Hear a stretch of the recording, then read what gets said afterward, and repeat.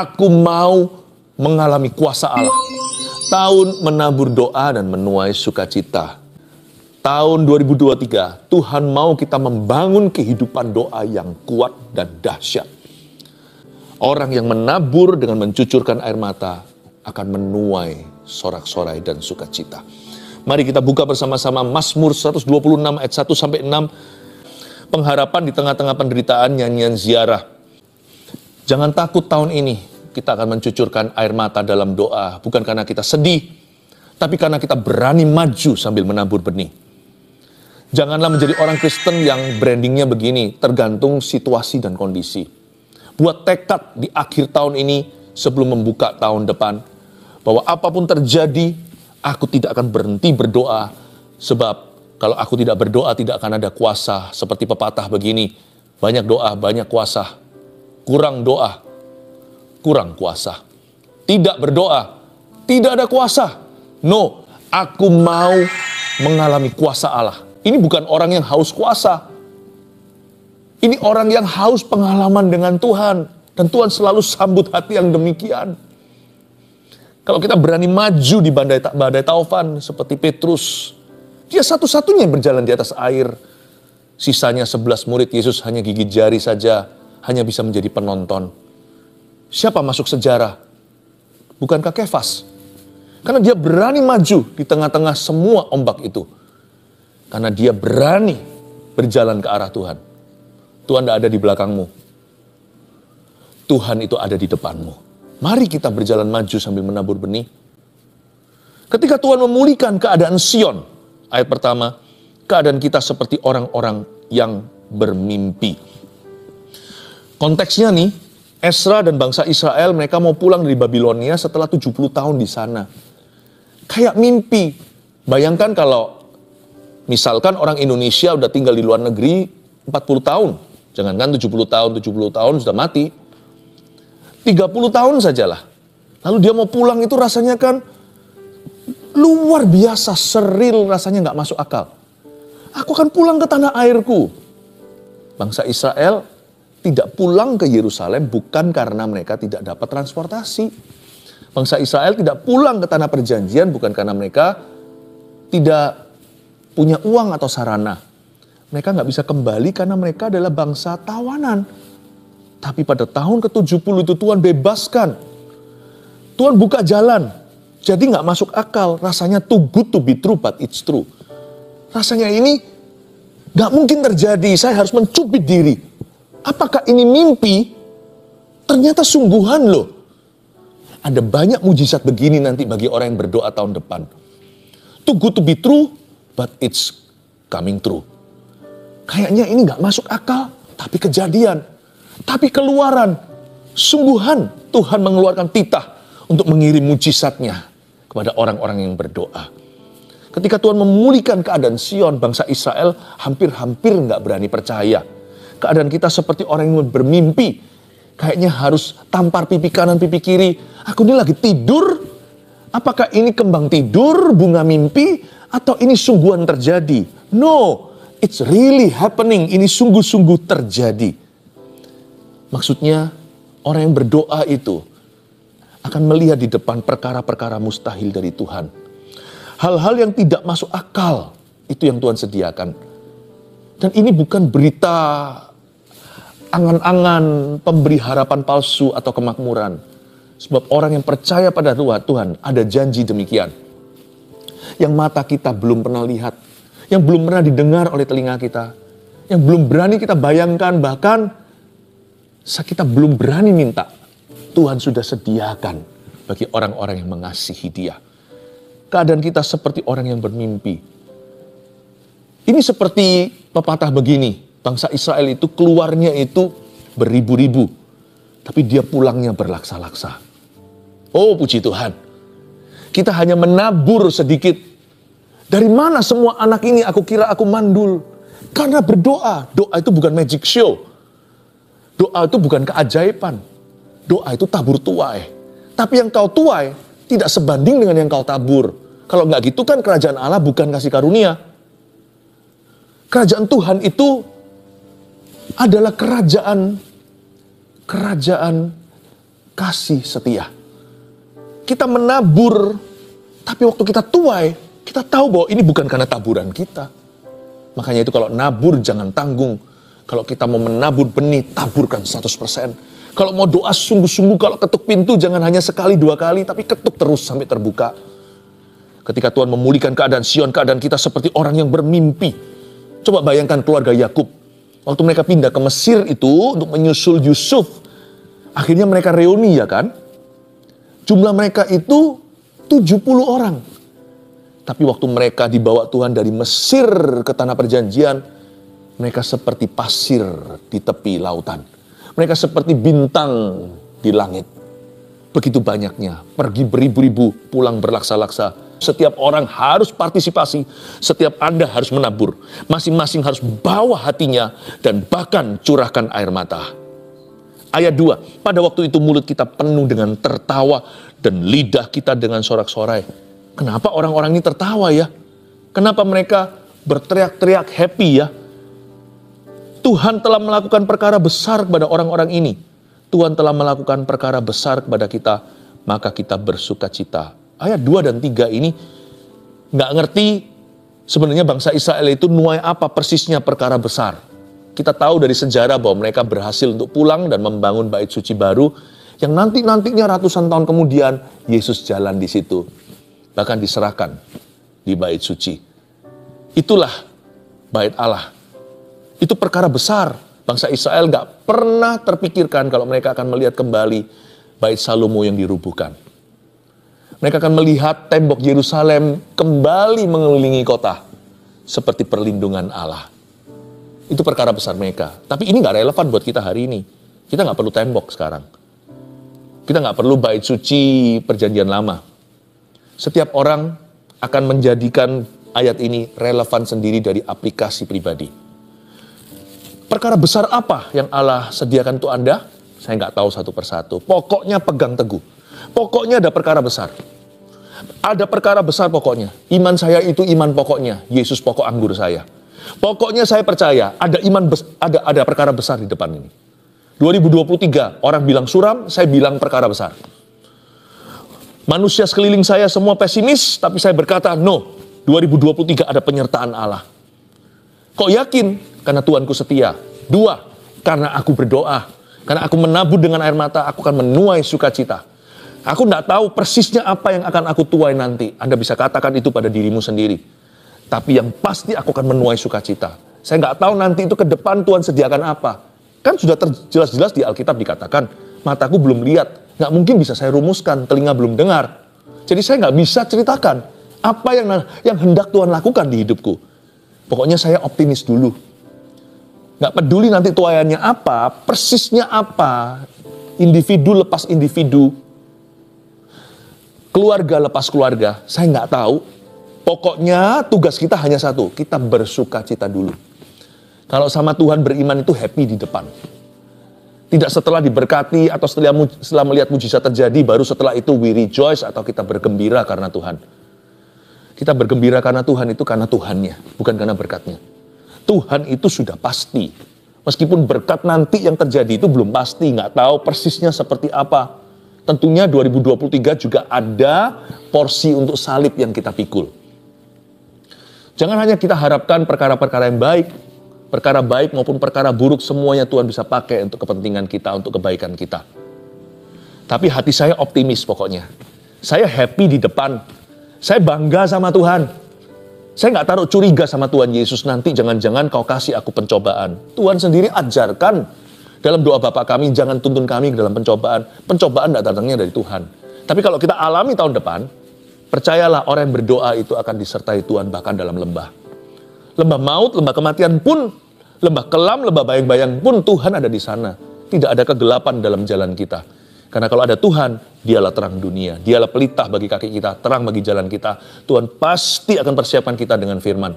Ada urapan roh kudus hari ini kita akan dapat urapan baru untuk tahun depan. Seperti saya katakan tadi, urapan setahunan itu akan dicurahkan di doa malam, doa old and new ini. Saya nggak tahu apa yang saya tuai persisnya nanti. Saya percayakan itu sama Yesus. Itu departemennya Tuhan. Departemenku satu. Aku bersuka cita dulu. Pada waktu itu mulut kita penuh dengan tertawa. Dan lidah kita dengan sorak-sorai. Pada waktu itu berkatalah orang di antara bangsa-bangsa, Tuhan telah melakukan perkara besar kepada orang-orang ini. Tuhan telah melakukan perkara besar kepada kita. Amini aja. Kalimat terakhir dari ayat 3 inilah. Ini menjadi patokan kita. Ini pakemnya kita. Maka kita bersuka cita. Maka sekarang saya ganti ini sedikit sebagai ajakan untuk Anda. Mari kita bersuka cita. Katakan pada orang kanan kirinya, tentunya Anda tidak sendirian kan? Kalau Anda sendirian pun katakan pada diri sendiri. Kalau Anda bersama dengan keluarga atau dengan saudara seiman sekarang, bilang sama kanan kirinya, mari kita bersuka cita. Happy di depan. Haleluya. Ayat 4. Pulihkanlah keadaan kami, ya Tuhan. Seperti memulihkan batang air kering di tanah Negeb. Tunggu, tunggu, tunggu. Kok mundur lagi ya? Bukannya sudah bersuka cita, bukannya keadaannya sudah pulih, seperti orang bermimpi waktu terjadi. Mulutnya pun sudah penuh dengan tawa, lidahnya dengan sorak-sorai. Loh kok ayat 4, pulihkanlah keadaan kami ya, ya Tuhan. Kok sakit lagi? Kok masalah lagi? Kok down lagi? Kok di bawah lagi? Bukan, bukan. Ini bukan di bawah lagi. Ini membawahkan diri, paham maksud saya. Pulihkanlah keadaan kami ya Tuhan, seperti memulihkan batang air kering di tanah Negeb. Ini yang saya sebut melemahkan, terus melemahkan diri atau terus merendahkan hati di hadapan Tuhan Yesus. Ini bukan berarti Esra dibawa lagi. Esra sudah pulang ke Israel. Bangsa Israel sudah mulai tok tok tok tok tok mulai konstruksi. Tapi biasanya orang kalau mulai diberkati itu jadi gaya. Tidak sedikit setelah mereka disembuhkan seperti sembilan orang kusta. Tidak kembali. Ekornya pun tidak kelihatan apalagi bayang-bayangnya. Kalau kita itu berjalan dalam janji Tuhan, jangan lupa, jangan pegang janjinya saja maksudnya. Jangan alami berkatnya saja. Carilah sang pemberi berkat. Carilah dan kasihilah sang pemberi janji. Penting untuk kita itu punya komitmen terus merendahkan hati. Terus mengambil arus bawah. Ini namanya positioning kalau dalam bisnis lah atau dalam Nah, dalam peperangan, mereka menaruh posisi dalam politik juga sama. Positioningnya orang Kristen, anak Tuhan itu harus bawa, cium kaki Yesus, melemahkan diri lagi dan lagi. Maunya terus jadi pasien Tuhan, bukan mental korban ya.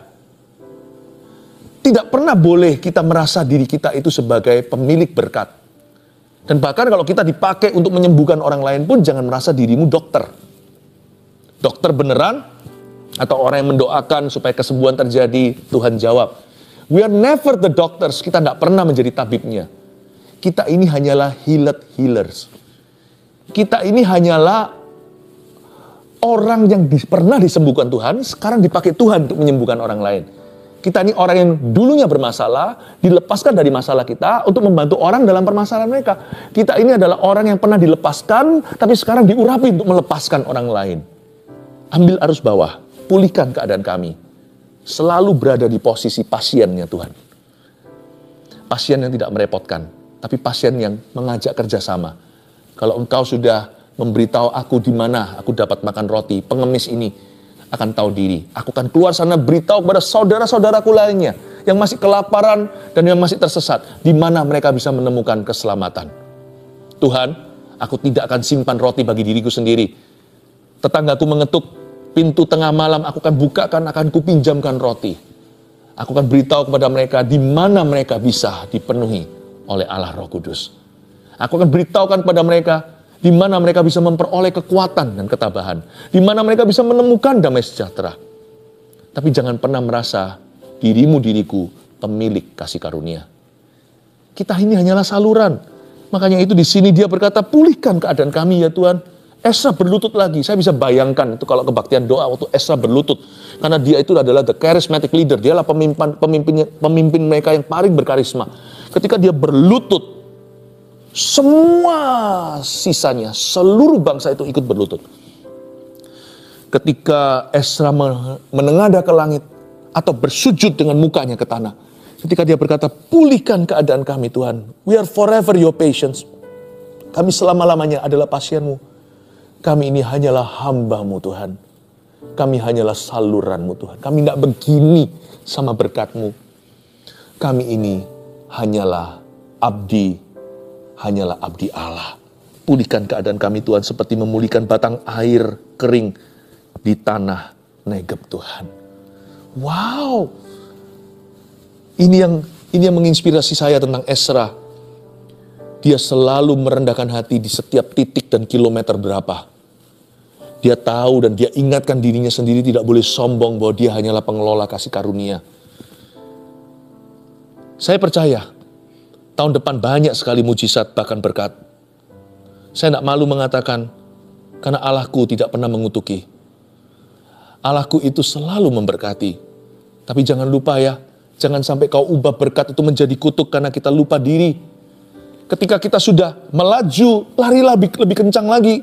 Sebab di dalam kerajaan sorga tidak ada juara satu yang permanen. Kalau Anda sudah di depan, lalu Anda lengah, lalu mulai asal-asalan sama Tuhan, tidak lagi menabur doa, sudah lagi malas berdoa, kenapa? Sudah tidak ada keperluan, jangan-jangan esok hari kau jatuh. Esra di ayat 4, dia berhenti lagi menabur doa lagi, mencucurkan air mata lagi. Padahal tiga ayat sebelumnya dia sudah mengalami pemulihan, dia sudah mengalami mujizat dan berkat Allah, perkara mustahil pun terjadi, perkara yang sulit pun menurut menurut ukuran manusia dibuat Tuhan jadi mudah, sampai-sampai dia merasa ini mimpi kali ya. Tapi di ayat 4, dia kembali merendah, mencucur lagi air mata, menabur doa. Justru ketika ada nuai, taburlah lagi. Kalau enggak nanti musim berikutnya enggak ada tuayan. Tahun depan kita tidak akan menabur sekali. Dan kita tidak akan menuai sekali pula. Dan orang yang menabur terus akan menuai terus. Banyak doa. Banyak berkat. Kurang doa, kurang berkat. Tidak ada tidak berdoa, tidak ada berkat Allah dalam kehidupan kita. Banyak doa, banyak kuasa. Tidak berdoa, tidak ada kuasa. Kurang berdoa, kurang kuasa. Terus tabur, Tabur dengan air mata. Jangan berhenti. Ingat ayat empatmu. Di situ kau harus merapat. Ayat 5, orang-orang yang menabur dengan mencucurkan air mata akan menuai dengan bersorak-sorai. Ayat 5 ini dahsyat luar biasa. Ingat ya, ayat 5 ini adalah adalah equipment. Ini adalah gudang equipmentnya Tuhan. Jangan sampai kita salah baca manual, dibaca lagi coba supaya kita tahu tools ini untuk apa. Seperti kulkas untuk daging, lemari untuk pakaian. Jangan terbalik ya, nanti pakaian ditaruh di kulkas, nanti dingin waktu dipakai. Atau kaku bahkan kalau ditaruh di, di, di freezer atau di tempat esnya. Jangan sampai nanti daging ditaruh lemari, jadi bau setelah beberapa hari. Toolsnya harus jelas, baca lagi manualnya, ayo coba baca. Orang-orang yang menabur dengan apa menabur? Mencucurkan air mata dan menuai dengan air mata. Menuai dengan mencucur air mata, bukan menuai dengan bersorak-sorai. Ingat ya, alat menabur itu adalah air mata. Jadi kalau Anda merasa ingin nangis, itu berarti ada taburan. Jangan hanya nangis saja. Ditabur dan dikubur itu sama-sama jatuh ke tanah, tapi yang satu disengaja. Yang satu lagi hanyalah terbuang ke tanah. Janganlah air matamu tuh jatuh ke pipimu, lalu jatuh ke bumi, sia-sia. Karena itu, be selektif, pilih-pilih. Untuk pilih-pilih tujuanmu menangis. Jangan nangis untuk perkara-perkara yang nggak perlu ditangisi. Ngapain sih kita menangisi apa kata orang tentang kita? Janganlah. Menurut saya lebih baik kita nangis ketika kita dengar firman Tuhan atau ketika kita baca Alkitab, lalu kita mengerti apa yang Tuhan sedang katakan di hidup kita, kita terjamah atau terharu. Tangisan begitu adalah tangisan karena apa kata Tuhan. Malah justru membuat perkataan Tuhan itu ada pelumasnya di hati kita. Jadi mudah untuk lulus. Tapi kalau apa kata orang kita tangisi, jadi apa kalau bukan jadi roh mengasihani diri sendiri? Pilih-pilih. Tolong agak sedikit cerewet. Jangan semuanya itu di ACC, jangan semuanya di approve. Untuk apa kita menangis hari ini? Tidak semua air mata keluar itu selalu jatuh ke tanah sebagai taburan. Ketika sampai ke pipi pun tidak ada tidak ada kuasa, tapi air mata yang berjatuhan, yang berlumuran disebabkan firman Tuhan atau ketika kita bersyafaat berdoa untuk sesuatu sesuai dengan kehendak Tuhan atau karena keinginan untuk maju kita bisa berkata pada hidup ini hidup kau begitu kejam sama aku ya jangan kepahitan sama Tuhan jangan kecewa sama diri sendiri sama manusia apalagi Tuhan itu baik kok bisa kita kepahitan tapi kalau kita mengalami tekanan hidup ini mungkin kita boleh katakan hidup dalam hidupku itu betul-betul kejam sama aku. Gak apa-apa. Engkau bisa tekan aku seberat-beratnya. Aku menangis karena tidak tahan. Karena rasa sakit yang kurasakan. Atau perasaan perasaan stres yang berlebihan. Tapi satu hal ini tidak bisa tercuri. Kau bisa membuat aku menangis hai kehidupan. Tapi aku memutuskan kalau memang aku harus menangis hari ini. I might as well daripada menangis sia-sia. Sekalian waktu aku menangis, sekalian maju. Aku tabur benih. Tuhan berat hidupku. Namun Tuhan, aku tetap percaya hari depan milikmu ada di tanganmu. Aku percaya rancanganmu bukan rancangan kecelakaan, tapi mendatangkan masa depan penuh pengharapan rancanganmu damai sejahtera dan aku klaim janjimu seperti Yabes berkata, kiranya engkau memberkati aku berlimpah-limpah. Ini dengan mencucur air mata ini. Dengan nangis deras ini. Ini udah banjir pipi. Kiranya engkau memberkati aku berlimpah-limpah. Dan memperluas daerahku sekalipun ibuku, ibuku pun menolakku, mengutukiku. Kalau enggak kan, aku enggak dinamai Yabes yang artinya apes atau bad luck artinya nasib jelek. Artinya loser atau pecundang. Tuhan aku ampuni. Kalau aku harus nangis kesakitan, aku mau sakit mengampuni daripada sakit membenci.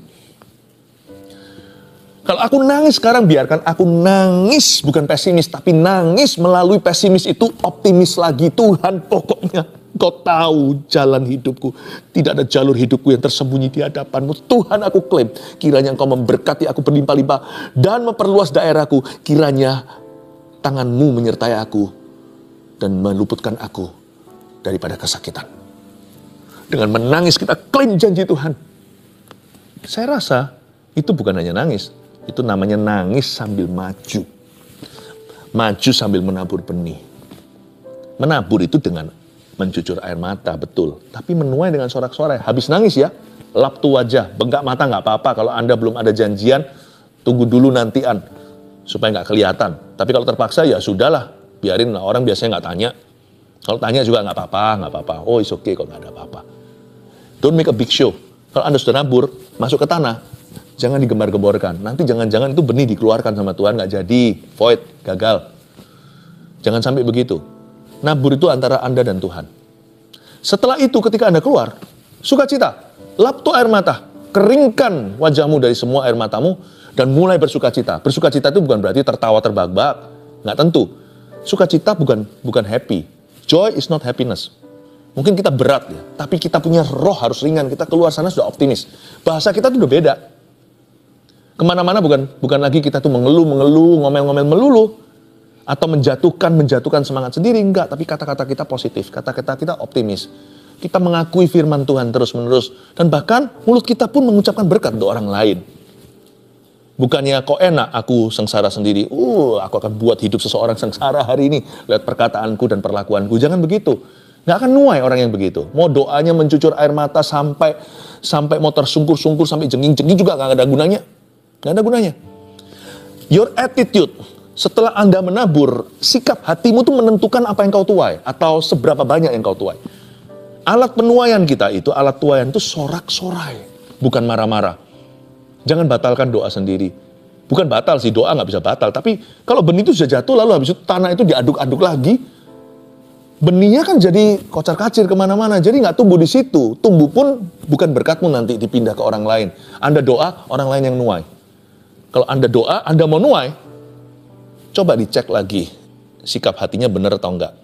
Kita harus sukacita. Sukacita itu artinya bright. Sukacita itu artinya brilian. Artinya itu terang. Wajahnya itu enggak kusam.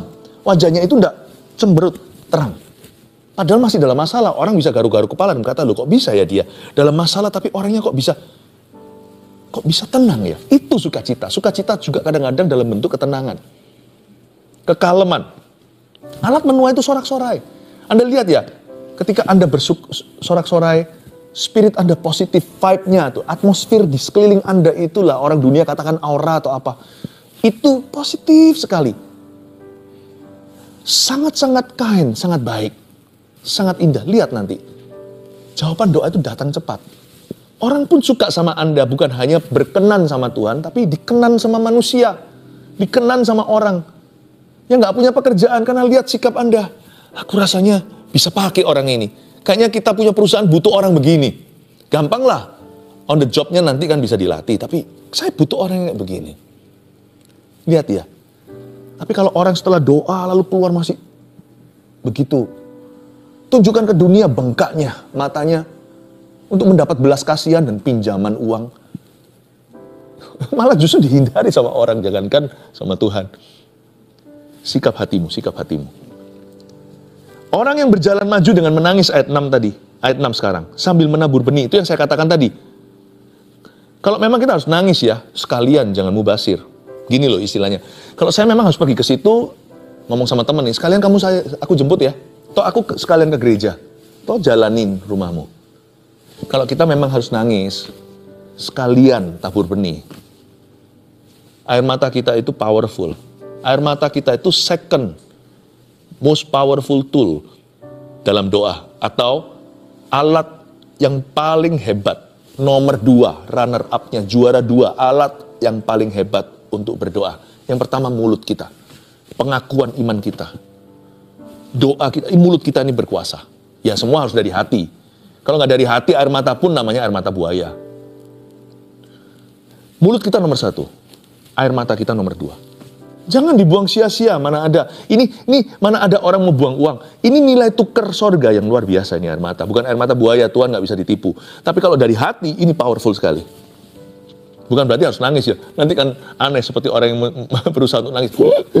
Nggak bisa nangis, nggak bisa keluar air matanya. Ini bukan keluar air mata secara harafiah selalu begitu. Tapi maksud saya menjerit mengerang kepada Tuhan sampai janjinya digenapi. Saya rasa itulah arti rohani dan emosi doa syafaat dengan menabur atau mencucur air mata. Orang yang berjalan maju dengan menangis sambil menabur benih pasti pulang dengan sorak-sorai sambil membawa apa itu berkas-berkasnya. Bukan cuman bukan hanya mereka itu menabur lalu menuai tapi menuai sampai ke berkas-berkasnya. Berarti gini loh, nggak seimbang tuayan itu dengan taburan seperti saya katakan sebelumnya. Tidak imbang. Dan dari sini saya juga ingin untuk menekankan suatu hal. Kalau Anda baca lagi ya, kita baca ayat 6 sekali lagi. Orang yang berjalan maju dengan menangis sambil menabur benih. Kata menabur benih itu bukan menjatuhkan benih. Beda ya, menjatuhkan benih itu begini. Tes. Seperti meneteskan air. Jatuh. Menabur itu begini menabur. Menabur itu begini. Jadi ini sifatnya korporat. Tidak boleh doa itu seperti yang kita lakukan selama ini di gereja-gereja, kita lebih sering lihat yang patron begini atau yang modelnya beginian. Satu orang berdoa, yang lainnya mengaminkan. Itu menjatuhkan doa, bukan menabur doa. Menabur doa itu sama-sama berdoa. Coba baca di kisah para rasul. Mereka itu sembahyang bersama-sama. Satu saja, minus satu yang tidak berdoa terpaksa karena dia adalah biografernya. Dia reporternya, namanya Dr. Lukas. Kisah para rasul mencatat doa mereka itu bisa meskipun sendiri-sendiri, bisa sehati. Dirangkum dalam satu kalimat Tuhan, berikan keberanian kepada kami. Karena mereka mengancam kami dan ulurkan tanganmu untuk menyembuhkan orang-orang sakit dan mengadakan tanda-tanda heran oleh nama hambamu yang kudus Yesus Kristus. Lalu goncanglah tempat mereka sembayang. Penuh roh kudus dan mereka dengan berani memberitakan fit, memberitakan Injil. Setelah itu mujizat lebih banyak terjadi di gereja mula-mula. Itu namanya menabur doa ketika semua mereka satu topik tapi berdoa bersama-sama rame-rame serbu. Itu korporat. Kalau enggak namanya menjatuhkan doa. Tes, tes, tes satu ini adalah doa yang beda. Orang yang berjalan maju dengan menangis sambil menabur benih. Yang beginian yang pulang bawa berkas-berkasnya.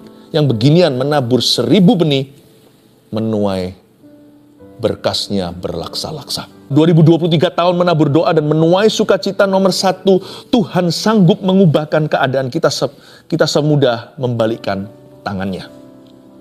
Dua, apa pun yang kita tuai nanti, yang penting bersukacita dulu di dalam Tuhan.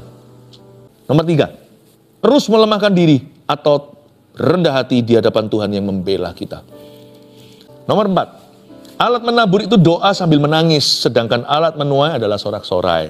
Nomor lima, doa jangan menonton atau mengaminkan saja, melainkan turut berpartisipasi. Yang keenam, ini adalah janji Tuhan buat kita. Pergi doa menabur seribu benih. Dan pulang doa membawa berkasnya berlaksa-laksa. Ini orang yang menabur benih pasti maju pikirannya. Saya maju dan kalau saya maju saya tahu maju tak gentar seperti lagu luar biasa. Kalau saya maju, saya tahu Kristus adalah arakan berkemenangan. Bukan berarti hidupku akan selalu mulus. Tapi kalau aku maju dengan Kristus, nggak mungkin aku pulang tangan hampa. Pasti ada roti di tanganku untuk memberi makan 5.000 orang. Haleluya. Pergi beribu-ribu, pulang berlaksa-laksa.